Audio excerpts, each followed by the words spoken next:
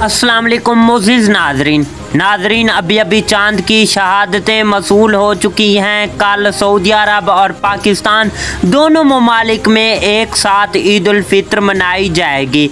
नाजरीन, आपको इस वीडियो में मुकम्मल तर तफसील के साथ शेयर करते हैं। अगर आपने अभी तक हमारे इस यूट्यूब चैनल को सब्सक्राइब नहीं किया तो जल्दी से हमारे इस यूट्यूब चैनल को सब्सक्राइब कर लें और इस वीडियो को भी लाइक कर लें, ताकि आपको न्यू आने वाली वीडियो का नोटिफिकेशन बर वक्त मिलता रहे।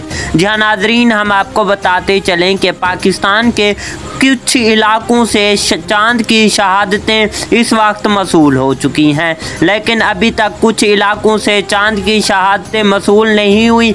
जैसे तमाम इलाकों से चाँद की शहादतें मसूल होती हैं, रवायत हिलाल कमेटी ईद का ऐलान कर देगी।